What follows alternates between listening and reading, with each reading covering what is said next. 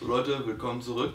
Ich war gestern wieder trainieren, so wie ich eigentlich immer trainieren war. Und ich habe gedacht, okay, habe lange nichts mehr aufgenommen. Ich will mich erstmal wieder mein Training. Und ja, ähm, wie fast jedes Mal beginnt es wieder mit Bankdrücken.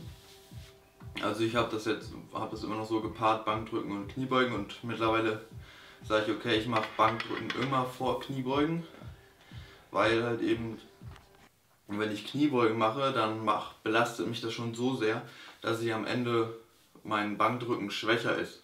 Andersherum aber nicht, also mein Bankdrücken belastet mich nicht so sehr, dass ich sozusagen mein, meine Kniebeugen darunter leiden. Und deswegen mache ich sozusagen als erstes das leichte Bankdrücken und danach kommt Kniebeugen. Ähm, ja, beim Bankdrücken waren es halt eben 120 Kilo für vier Sätze und fünf Wiederholungen. Und ähm, dann beim Kniebeugen waren das 152 Kilo für sieben Wiederholungen und drei Sätze.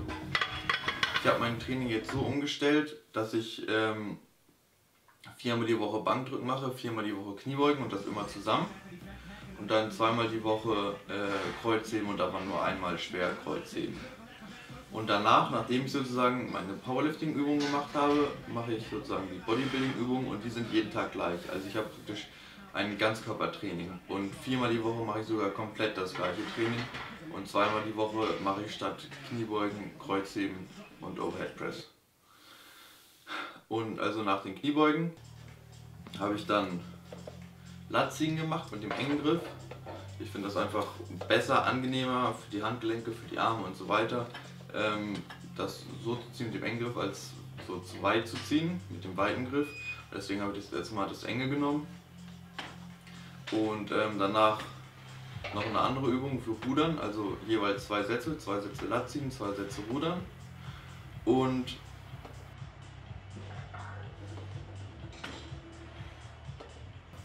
auch bei den Bodybuilding-Übungen merke ich mir das Gewicht und achte darauf, dass ich mich steigere. Also ich mache jedes Mal bei den Bodybuilding-Übungen 10 Wiederholungen, wo es geht. Und ähm, gucke dann, dass ich immer dasselbe Gewicht habe wie letztes Mal oder vielleicht ein bisschen mehr. Also beim Latziehen mache ich gerade 105 Kilo für 10 Wiederholungen und 2 Sätze und beim Rudern mache ich gerade 100 Kilo für 10 Wiederholungen und 2 Sätze. Und ähm, ja, da muss man dann schauen. Also da versuche ich dann jedes Mal gucken, geht das besser, geht das schwerer, kann ich vielleicht erhöhen und so weiter, dass ich dann da auch Progression habe beim Training und wirklich weiß, okay, ich bin stärker geworden oder ich bin schwächer geworden. Danach kommen dann seitliche Schultern, ähm, auch drei Sätze, zehn Wiederholungen und ähm, da versuche ich halt eben auch mich zu steigern, bin jetzt bei 17,5 Kilo und ähm, das Doofe ist halt eben, der Sprung von 17,5 auf 20 Kilo ist natürlich ein ziemlich großer, da dauert es wahrscheinlich schon etwas länger. Ähm, Finde ich jetzt irgendwie ein bisschen doof bei, äh, bei Kreuzheben, was weiß ich. Wenn, wenn man sich sozusagen von 200 Kilo auf 202,5 steigert, ist das was anderes, als wenn man sich von 17,5 auf 20 steigert. Wenn ich mal kurz ausrechne, wie viel, das wäre ja bis fast die zehnfache Steigerung wie beim Kreuzheben, jetzt so grob gesagt. Also es wäre so, als würde ich von, ja, praktisch bei Kreuzheben von 170,5 direkt auf 200 springen. Ne? Deswegen wollte ich nur mal kurz sagen. Und ähm, dann ist es so, danach, nach den seitlichen Schultern, äh, mache ich dann nochmal Bauch, zwei Sätze äh, Toes to Bar das mache ich deswegen, weil das sozusagen auch so eine festgelegte Range of Motion ist. Also von Beine unten hängen lassen bis oben an, die Stange. Das ist halt einfach äh, so ein bisschen so wie beim Bankdrücken oder Kniebeugen, dass halt einfach eine Regel gibt, was eine volle Rap ist.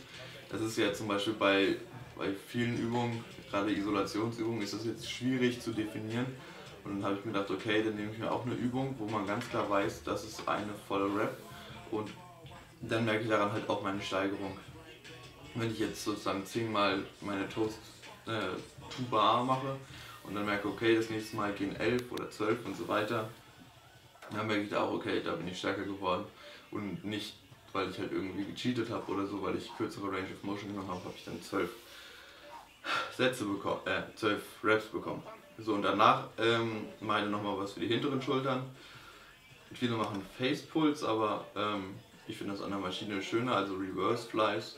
Da kann man sich so schön reinsetzen. Das ist nochmal schon ganz nah an der Umkleide. Gehe ich nochmal kurz hin, setze mich da ran und mache ein bisschen Reverse Flies. Wie gesagt, da genau dasselbe. Ähm, mit dem Gewicht 65 Kilo mache ich da gerade für 10 Wiederholungen und versuche da auch mich zu steigern. Und ja, so sieht mein Training aus. Gerade alle Übungen nach den Grundübungen sind immer gleich, die mache ich jeden Tag und versuche mich da zu steigern und werde das auch erstmal so beibehalten, bis es mir irgendwann langweilig wird und ich sage, ach, mache ich lieber doch vielleicht nicht eine andere Übung für Rücken oder eine andere Übung für seitliche Schulter, aber im Moment ist es so, so wie es ist. So, das dazu, zu meinem neuen Trainingsplan und so weiter. Ähm, jetzt ist, ich glaube, Donnerstag. Auf jeden Fall, ich gehe gleich zum Training. Und ähm, da steht jetzt noch ein Kreuzheben dran. Sogar schweres Kreuzheben. Einmal in der Woche. Ähm, und, ach genau, das kann ich dazu auch noch sagen. Ich habe meinen Plan so weit umgestellt, dass ich einmal die Woche einen Satz mache mit fünf Wiederholungen und versuche mich jedes Mal zu steigern um 5 Kilogramm. Das ist jetzt von Starting Strengths übernommen. Viele Leute haben mit diesem System riesige Fortschritte gemacht. Das ist ja jetzt nicht umsonst in Starting Strengths, eines der oder vielleicht sogar das beliebteste Anfängerprogramm im Krafttraining. Und ähm, deswegen habe ich gedacht, okay, was soll ich so tun, als wüsste ich alles besser. Probiere ich das auch einfach mal aus. Ähm, es war zwar erstmal ein bisschen ungewohnt, wo man so denkt, so okay, nur ein Satz die Woche, ähm, aber es scheint zu funktionieren. Ich habe mit 180 Kilo angefangen und habe dann mich gesteigert auf 190 Kilo, dann 195, 200, 205, letzte Woche 210 Kilo und diese Woche probieren wir mal 215 Kilo aus. Man weiß natürlich nie, könnte natürlich sein, dass ich jetzt diese Woche auch nicht schaffe. Irgendwann ist natürlich auch mal eine Grenze, das ist klar, aber Wäre cool, wenn ich heute 215 Kilo für 5 Wiederholungen schaffen würde. Und ähm, das sehen wir gleich mal. Dann bis gleich beim Training.